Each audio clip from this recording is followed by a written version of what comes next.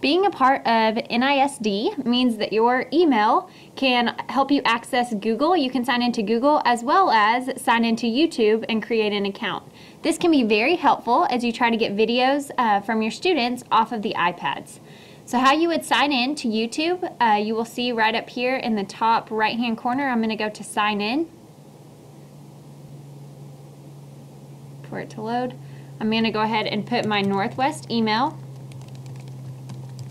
No password, and that's a key, no password the first time. And then it's going to bring up another login where I'm just like I would my email, going to put my username and password.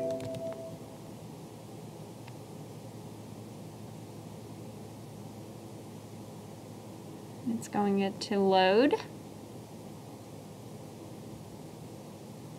And you will see that my name is Britt Horn IT. If you're very first logging in, it's going to ask you to accept at the bottom and create your login name. And then I can upload here from the upload button at the top. So say if a student has emailed you a video or a project, then after going to upload, it will pull up this screen and you can go ahead and select the video file that you would like to upload here.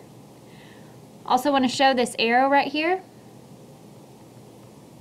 It's going to let you see all the videos that you've created, um, how many people have watched them. So if I go to dashboard, you should have all of your class videos saved and you can share them with your class by giving them access to the link. So you can see I've created several tutorial videos that I now have saved on file in my YouTube account. Um, one last feature before ending the video.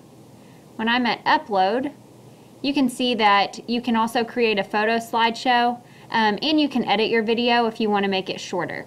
So those are just some options that you have with your Northwest email and a great way to get student videos from the iPad into a link that can be easily shared via QR code um, or shortening the link and sending it out.